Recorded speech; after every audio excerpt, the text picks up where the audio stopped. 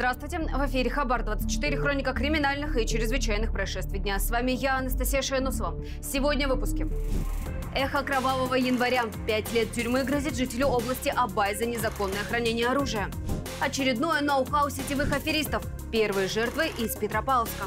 Телефон в дверном полотне засекли сотрудники одного из закрытых учреждений области Абай. Покой и безопасность. Как следили за порядком в праздничные дни. До пяти лет лишения свободы грозит жителю области Абай за незаконное хранение оружия, похищенного во время январских событий. Мужчину задержали в ходе совместной спецоперации сотрудников Департамента полиции и Комитета нацбезопасности.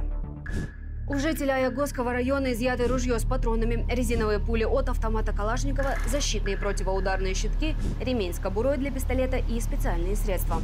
Как именно оружие и боеприпасы попали к задержанному, выясняется. Мужчина взят под стражу.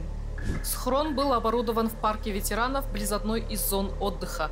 В нем обнаружено 838 патронов калибра 9 мм, которые могут использоваться в пистолетах, револьверах, пистолетах-пулеметах и изредка в других видах оружия. Патроны были обернуты в специальные бумажные контейнеры и сложены в большой холщовый мешок. Сейчас по факту возбуждено уголовное производство. В ходе расследования будут выяснены все обстоятельства по делу. Осторожно, сетевые мошенники. В Петропавловске разыскивают аферистов, обманувших местную пенсионерку на полмиллиона тенге. Для того, чтобы выманить с пожилой женщины круглую сумму, преступникам пришлось проявить изобретательность. По словам 67-летней горожанки, ей позвонила неизвестная, которая представилась сотрудницей Департамента юстиции. Женщина сообщила, что пенсионерке положена крупная компенсация от фармкомпании, которая производила лекарства от давления. Препарат якобы оказался аллергенным. Легенду усилили звонки финансиста и казначея учреждения, которые убедили женщину, что для получения денег необходимо оплатить страховку, верификацию и транзакцию. Доверчивая бабушка отдала мошенникам все свои накопления и даже влезла в долги. Как уберечь пожилых людей от мошенников? Разъясните пожилым родственникам опасность интернет-мошенничества. Не доверяйте звонкам незнакомых лиц. Если заходит речь о финансовых вопросах, обязательно перепроверяйте полученную информацию по официальным каналам. Звоните в организации, от имени которых с вами разговаривали, и уточняйте, действительно ли там работают такие сотрудники. Проводятся ли акции, на которые ссылались звонившие лица. Удивительное рядом. В одной из колоний области Абай засекли необычный способ проноса запрещенки. На этот раз один из посетителей пытался доставить кому-то из заключенных сотовый телефон, спрятанный в полотне двери. Запрещенный предмет хотел пронести 35-летний мастер одной из мастерских, расположенных на территории колонии. Его поймали в момент, когда он заносил в здание дверное полотно после реставрации. В нем-то и был спрятан мобильник с сим-картой. Кому из обитателей учреждения он оказывал услугу, не сообщается. По указанному факту был составлен административный протокол по статье 481 части 1 Кодекса административных правонарушений Республики Казахстан. Материал направлен в суд для вынесения решений.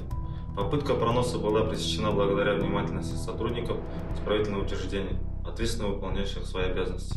Стоит отметить, что согласно Кодексу об административных правонарушениях, подобные нарушения влечет предупреждение или штраф в размере 10 МРП с конфискацией предмета, явившегося орудием либо предметом совершения административного правонарушения.